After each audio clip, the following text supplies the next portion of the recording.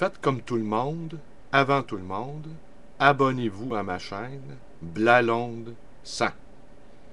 Je répète, faites comme tout le monde, avant tout le monde, abonnez-vous à ma chaîne Blalonde 100. Hier après-midi, mon ami Gaston, soit salué au toit Gaston, me prévenait que débutait cette semaine la semaine de prévention euh, du suicide. Voyez, ça pas. Ça connaît pas de temps mort, ça, ces propagandistes-là. On est passé de la semaine de la sensibilisation aux maladies mentales. C'est la semaine de la prévention du suicide qui débute. C'est toujours le mois des Noirs aussi qui se déroule en arrière-plan. Le président syrien, lui, continue de massacrer sa population locale. Probablement aujourd'hui, demain, ben, il va y avoir une poutre qui va tomber à quelque part, euh, un scandale financier, euh, la routine, quoi. C'est également aujourd'hui, je tiens à le souligner, parce que ça me touche personnellement, c'est la journée mondiale des concierges. Alors que tous les concierges qui sont à l'écoute soient salués.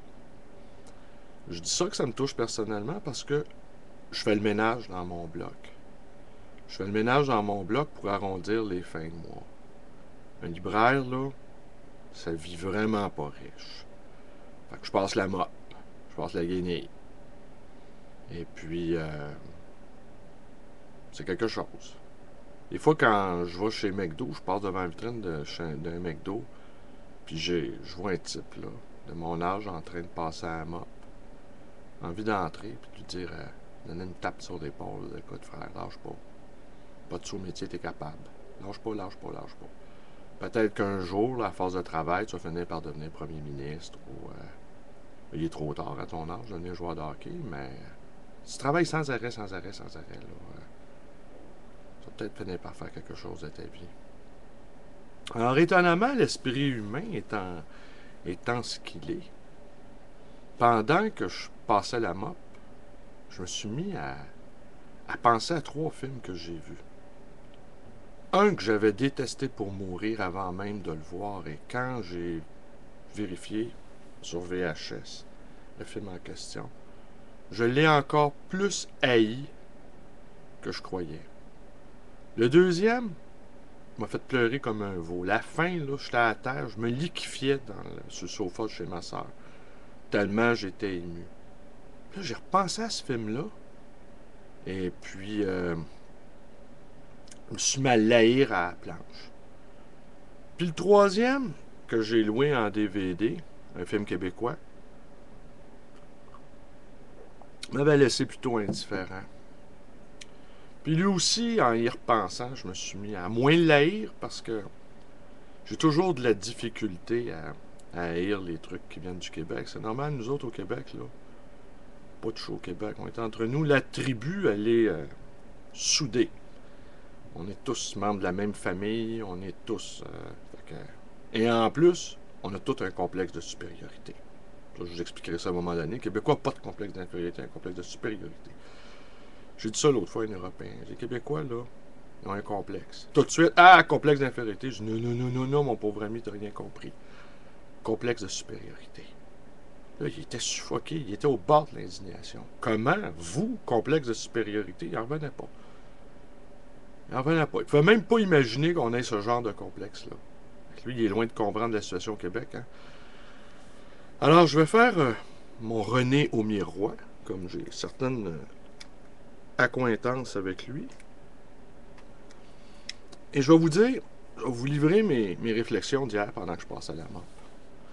Le premier film, c'était celui de Roberto Benigni, La vie est belle. Le père, là, qui, retarde euh, finalement. Je me souviens même plus s'ils finissent tous les deux là, par partir en fumée. Euh, euh, qui retarde le moment fatal de la, de la liquidation dans le four. Là, c'est drôle. Je me souviens de la critique, avait donc trouvé ça drôle, un tour de force, c'est touchant, c'est émouvant. Ah, c'est que des fois, vous avez vraiment pas d'allure. On peut pas faire de joke avec ça. Des affaires, on peut pas faire de joke avec ça. C'est pas compliqué, là.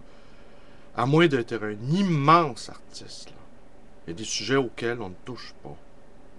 Robert Roberto Machin, là, c'est pas un immense artiste. Et peut-être qu'un immense artiste serait conscient de ses limites, qu'il n'oserait pas toucher à ça. Mais vous, là, vous avez tombé dans le panneau. Vous avez donné des prix à ce film-là. Mais c'est sûr, la classe moyenne là, qui est en perdition, la classe moyenne qui est en perdition sur le plan économique, vérifiez votre pouvoir d'achat, vérifiez autour de vous. Là. Oubliez vos cartes de crédit. Là. La classe moyenne en perdition, là, sa valeur refuge, c'est l'art. Ah, ça, l'art, c'est donc important. Mais vous voyez pas que les très, très, très, très riches, l'art, là, c'est important aussi, comme valeur spéculative. Ça les intéresse s'ils peuvent faire de l'argent avec ça. Puis ils nous laissent ça à nous, les classes moyennes et laborieuses. Le deuxième qui m'avait ému euh, en me liquifiant sur le sofa de ma sœur, c'était la liste de Schindler de Spielberg. Mais ce sacrement-là, il a trouvé le moyen d'un film qui finit sur une note d'espoir. Cette guerre-là a fait 50 millions de morts, ça a fini par deux bombes atomiques lâchées sur une population civile, une pour des raisons euh, de tactique scientifique, une deuxième pour intimider les soviétiques. Il y a 6 millions de gens qui, sont, qui ont été exterminés, il y a 6 millions de juifs qui ont été exterminés, et ça finit sur une note d'espoir où on voit les survivants, puis les enfants des survivants, en train de mettre des petites roches sur un mémorial. C'est à se demander si la Shoah, ça a eu lieu pour que les studios d'Hollywood fassent des films. C'est bizarrement fait l'esprit. J'ai adoré ce film-là. Puis hier, en passant à moi, je me suis mis à l'haïr. L'impression de m'être. Comme, comme si je m'étais fait fourrer solide. Le, le troisième film, c'est celui de Denis Villeneuve, sur la Polytechnique. Je me souviens des, critiques de cinéma. Ah, traitement sobre, euh, jeu réservé de l'actrice principale, euh, il n'est pas tombé dans le sensationnalisme. et là, on, notait que la dernière scène, euh, très symbolique, du sang d'une des victimes qui va se fondre avec le sang du tueur. fuck. Encore là, il aurait fallu que ce soit un film d'horreur totale. Il aurait fallu qu'on sorte de là, là en civière. Il aurait fallu qu'on se couche par terre pour pas recevoir des balles.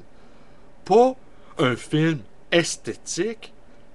Évidemment, ça encore, ça vous a calmé. L'esthétisation de l'horreur, là, ça, ça vous calme. L'horreur pure, l'horreur vécue, ça, vous pouvez pas comprendre. De toute façon, l'horreur vécue, comme ce qui se passe en série, vous voyez ça sur vos écrans, là. Puis de toute façon, on s'en fout de ce qui se passe en série. L'horreur vécue, c'est au-dessus de vos forces. Fait que ça vous prend le filtre de l'art. Ça vous prend une vision artistique de la réalité pour pouvoir supporter la réalité. Ben, voilà. C'était. euh, J'ai fait mon René au miroir. Je sais pas si c'est réussi, en tout cas, ça m'a fait du bien.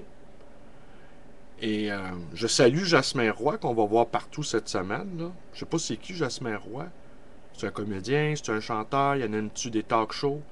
Je une chose qu'on va le voir toute la semaine, c'est la semaine préven- prévention du, suicide. Lui, une bonne semaine pour lui qui commence. Bon pour sa carrière, je présume.